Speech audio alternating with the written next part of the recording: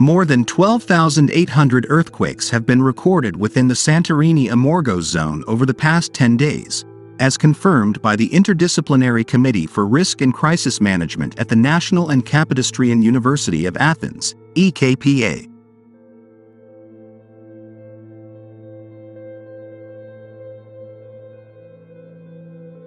The Seismology Laboratory at EKPA has been closely monitoring the seismic sequence, noting that 102 earthquakes occurred on February 9 alone. Among them, 14 had magnitudes above 4.0, and 2 exceeded M4.5. The strongest earthquake recorded during the period was M5.0, occurring at 2105 LT, 1905 Coordinated Universal Time.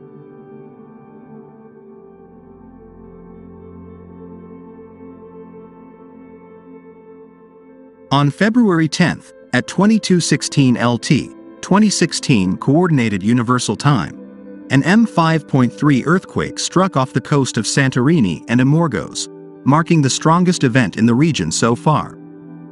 The epicenter was located 14 kilometers, 8.7 miles, south-southwest of Arkesini, Amorgos, at a depth of 17 kilometers, 10.56 miles, as confirmed by the Geodynamic Institute.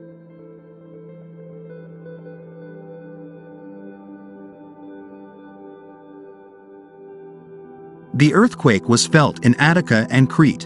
An M5.0 earthquake was recorded 16 kilometers, 9.94 miles, south of Arkesini, at 037 local time, 2237 coordinated universal time, on February 11th at a depth of 5 kilometers, 3.11 miles, followed 7 minutes later by an M4.3 earthquake.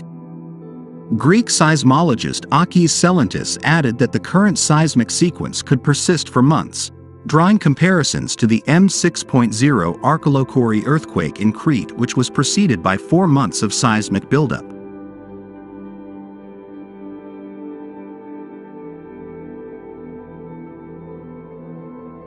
The swarm's location suggests the potential involvement of the Kolumbo submarine volcano, located just 6.5 kilometers, 4 miles, northeast of Santorini. Kolumbo is part of the larger Santorini volcanic complex and is known for its major eruption in 1650, which caused damage and fatalities because of pyroclastic flows, tsunamis, and gas emissions.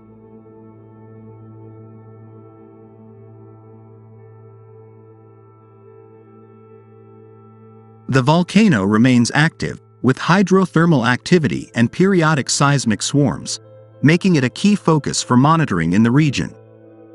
Investigations are underway to determine whether the seismicity is caused by tectonic stress along the Columbos and Kameni fault systems or deeper magmatic processes.